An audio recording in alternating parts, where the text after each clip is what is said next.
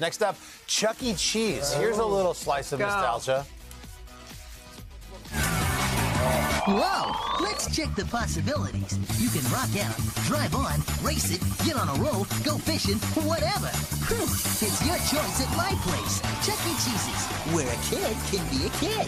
Oh, yes, that's Nick Jonas, by the way. Why are we showing you a Really? vintage Chuck E. Cheese commercial? Well, yesterday, the beloved kids brand announced plans for a new supersized project. A Chuck E. Cheese game show is in the works. The press release for the series promises it's going to feature teams of two competing over super-sized arcade games like pinball, air hockey, and the human. Cl- this sounds like Barmageddon for kids. Yeah, basically. Do I have a lawsuit? They ripped you Do I off. have a, They do I have a ripped you case off. I don't. I don't like Yeah. your chances. And you know, at Chuck E. Cheese, we It's gonna be we have hosted by Richard Cheese. Simmons. Chuck E. Cheese was there first. in Blakey. Shelton cheese. Uh, therefore, you can check it out. Uh, they've got once you win, you can go to that massive version of the Chuck E. Cheese prize wall. It takes like 500,000 tickets in a race.